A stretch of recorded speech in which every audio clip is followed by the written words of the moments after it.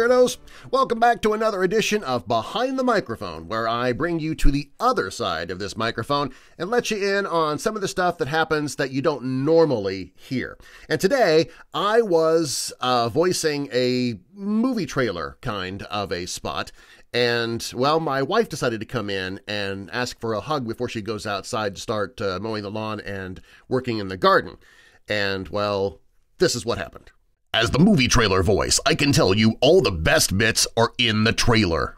I'm outside. You want to hug before I get dirty? Yes, I would. hey, guys.